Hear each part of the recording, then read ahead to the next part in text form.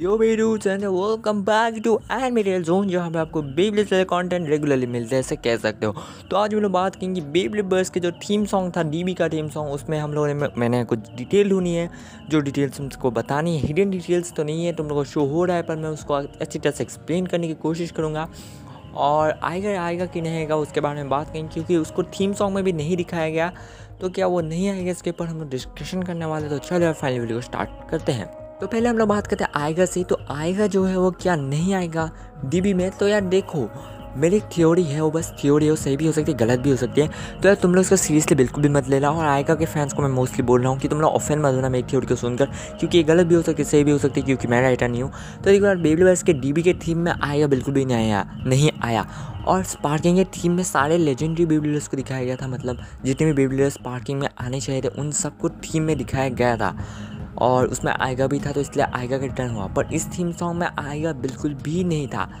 तो हम इससे कह सकते हैं फिफ्टी परसेंट चांस है कि आएगा, नहीं भी आ सकता है। पर फिफ्टी परसेंट चांस आने के भी है, क्योंकि भाई देखो, जो बिलर्स पार्किंग का थीम सॉन्ग था ना, उसमें वाक्य को पहले में इंक्लूड नहीं किया गया था। जब वाक्य आया तो थीम सॉन्ग चेंज हुआ और थीम सॉन्ग चेंज होने के बाद वाक्य को भी उस थीम सॉन्ग में इंक्लूड किया गया। तो ऐसा भी हो सकता है कि बाद में थीम सॉन्ग चेंज हो बेबी दीबी का और आएगा को ऐड कर सकते हैं। तो हाल फ़िलहाल के लिए मैं तो राइटर नहीं हूँ तो ये सब तो राइटर्स के ऊपर है, वो कब किसको ला दे मतलब आएगा को भी ला सकते हैं, पर नहीं भी ला सकते तो कुछ भी हो सकता है यार। तो ये थी पहली डिटेल तो चलो यार सेकेंड डिटेल की तरफ़ बढ़ते हैं।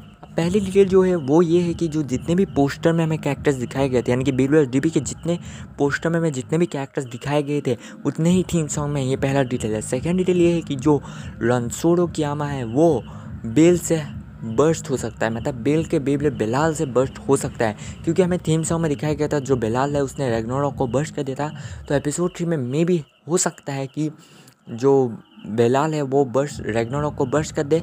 और ऐसा मुझे लगता है कि बेलाल बर्स्ट करेगा ही क्योंकि उसने जब लूनोर को बर्स्ट कर पाया तो रेगनोरॉक को तो वो बर्स्ट कर पाएगा ही। तो आगे देखते क्या होता है एपिसोड थ्री में। अब ये भी मेरी बस एक प्रडिक्शन है, मैंने थीम सॉन्ग देख के बताया तो सही भी हो सकता है, गलत भी हो सकता है। तो देखेंगे एपिसोड थ्री में।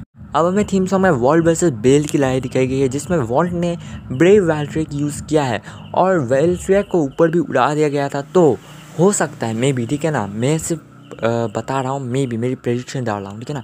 मे बी चांसेस है जो बेल है, वो वर्ल्ड को हरा दे, ठीक है ना? मतलब ब्रेव वैल्ट्रिक जैसे ऊपर हुआ था, मुझे लग रहा है कि ब्रेव वैल्ट्रिक हार जाएगा, क्योंकि जब लुई नहीं टिक पाया तो ऑब्वियसली बात है वर्ल्ड भी हारेगा ही।